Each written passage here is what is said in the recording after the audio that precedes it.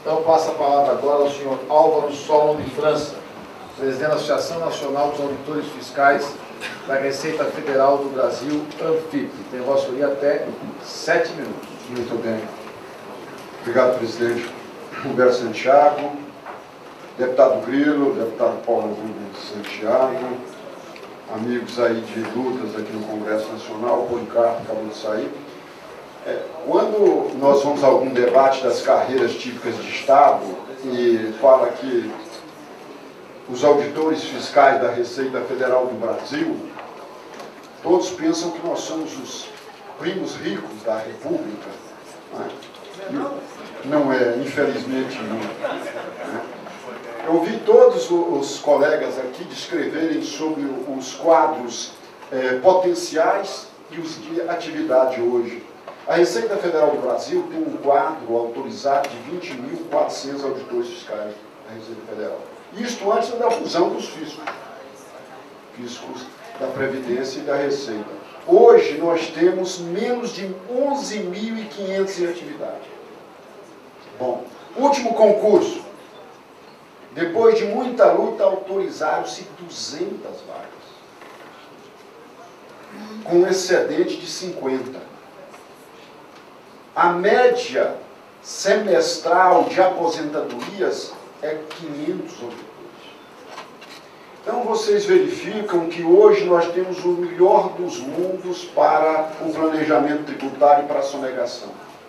Porque a decadência é quinquenal. Como que 11.500 e poucos auditores, mais aqueles que estão no serviço interno, vão ter condições de fiscalizar o quantitativo de empresas no Brasil? Mesmo assim, nós tivemos uma arrecadação trilionária.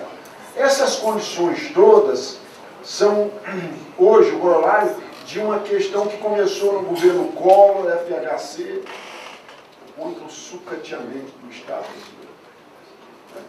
E, infelizmente, essa situação perpetua no governo dos trabalhadores. Qual é, hoje, a lógica que impera é, nas empresas e naqueles que querem sonegar. Vamos esperar a fiscalização. Se não vier dentro dos cinco anos, decadência quinquenal, apropriamos os recursos que deveriam ser é, colocados à disposição do Estado brasileiro. Nós enfrentamos uma luta aqui no Congresso Nacional e depois de muita discussão, o artigo 37 inciso décimo tá, da Constituição, diz assim, parece até hilário. A administração fazendária e seus servidores fiscais terão dentro de suas áreas de competência e jurisdição precedência sobre os demais setores administrativos na forma da lei. O governo hoje não tem condições de entender que não se economiza na guerra contra a sonegação. Eu tenho dito aqui que o Brasil é o único país em guerra que economiza bala. É o único país que, em guerra contra a sonegação, economiza auditores fiscais.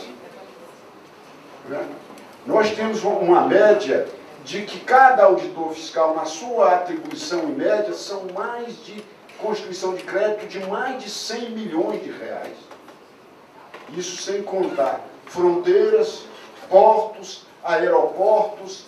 Então, se o governo não dá condições para a fiscalização exercer a sua função, ele está incentivando a sonegação, na nossa compreensão.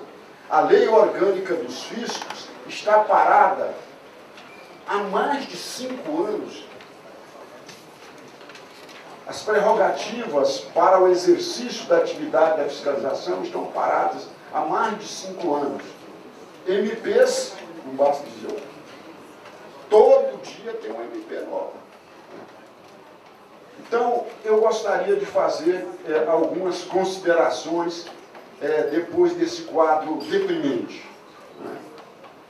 Todas as categorias apesar do texto constitucional assegurar, não tem reposição salarial. Porque hoje você fica na dependência da LDO, depois da lei orgânica, se o governo não é, colocar os recursos necessários, você não tem condições de fazer nada. Nossa entidade entrou com um mandado de injunção no Supremo Tribunal Federal para que essa matéria fosse regulamentada e houvesse a recomposição salarial tal qual prevista na Constituição. Até hoje está parada na mão do Procurador-Geral depois de quase dois anos. É, havia a ação penal 470 e essa matéria não tramita. Então, a primeira questão que nós entendemos é que deve haver pelo menos um mínimo a recomposição salarial, isso assegurado no texto constitucional, nós não temos condições. É, e outras entidades entraram com mandado de injunção. Nós construímos uma PEC assinada pelo é, deputado do Santa Catarina, Espiridião Amin, para que fosse obrigado o governo a colocar na lei orçamentária a recomposição salarial. Quer dizer, nós estamos criando uma, uma PEC uma alteração constitucional para que o governo cumpra o que já está na Constituição. Que não há obrigação para que coloque esses valores. Né? Essa PEC é 156 2012. A segunda questão que eu vejo é a da meritocracia.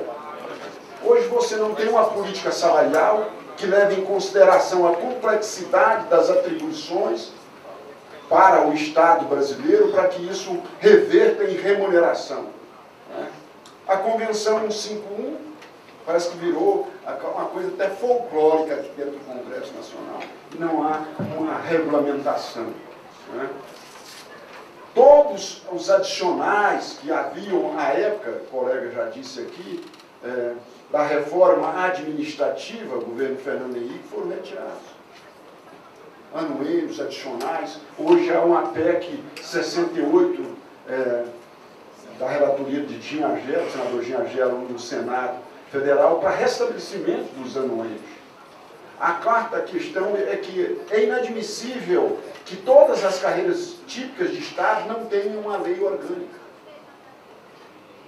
Não existe uma lei orgânica dos fiscos, não existe uma lei orgânica para os colegas da CGU, nem das agências regulamentares, agências reguladoras, o que, que se depreende disso?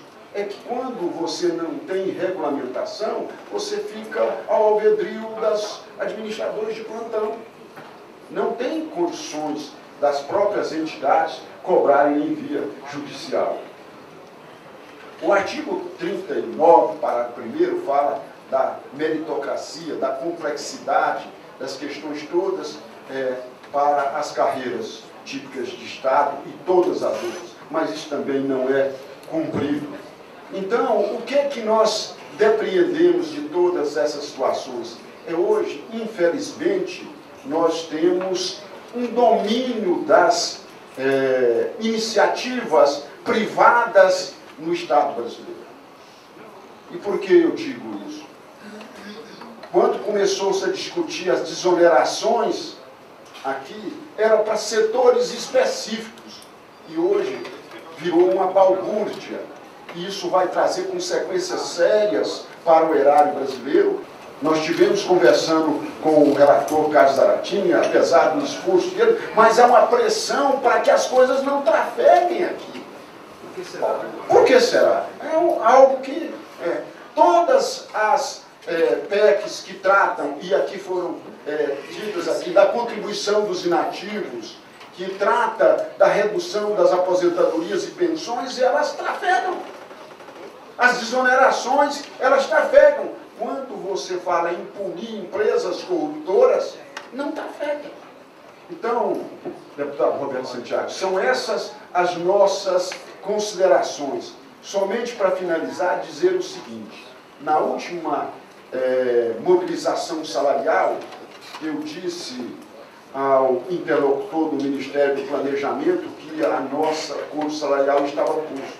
Porque os auditores fiscais da Receita Federal do Brasil pleiteavam somente a equiparação com o fisco de Roraima.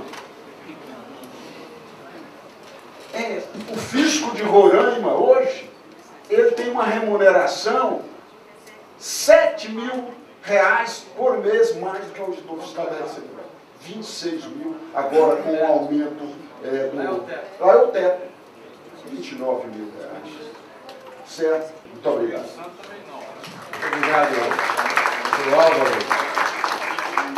fazer uma audiência pública aqui para descobrir por que é que essa, é, esse PL de prender o corruptor não anda.